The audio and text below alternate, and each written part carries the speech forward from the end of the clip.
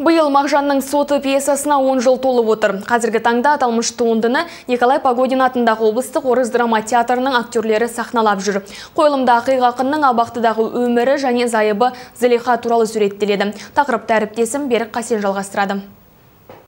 Мағжанның соты пьесасы Николай Погодин атындағы орыс драма театрында 2008 жылдан бері сахналанып келеді. Драма жерлес ақынның қасіретке толы тағдырын суреттейді. Оның авторы Виктор Шалаев аталған қойылымды жұртшылыққа ұсынбай тұрып, көп ізденгенін айтады. Ақын жайлы деректі Омбы облысындағы архивтер мен сонда тұратын қазақ диаспорасынан жинапты.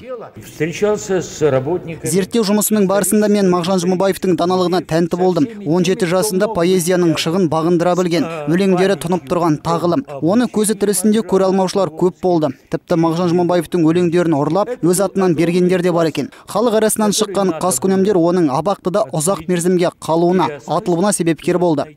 Мағжанның соты пьесасындағы басты кейіпкер ақынның рөлін Евгений Патешкин сомдап жүр. Актер бұл қойылымда ақынның зайыбы Зылихаға ерекше орын берілгенін айтады. Мағжан Жұмабаевтың жары Зылиха да көп қиындық көрген. Мағжанды абақтыдан абықтыға ауыстырғанда, соңынан іздеп барып жүрген. Ақынның жазған шығармаларын көзінің қарашығындай сақтап, халыққа жария болуына да себепші болған осы жары Зылиха. Біз соны көрсетуге тырыстық. 2008 жылы қазақтың ақиық ақынына арналған туынды орталық азия елдерінің екінші театр фестивалінде тарихи тұлғаны айшықты сомдау аталымында жүлдеге ие болды. Бірақ мағжанның соты өзге мемлекеттерде сахналанбаған. Шетелдегі қазақ диаспоралары пьесаны өз елдерінде көруге ынтық. Дегенмен қандастарымыздың бұл өтінішін басқа елдің билігі әзірге қанағаттандырмапты. Берік қасен михаил казначеев муниципалдық телеарна.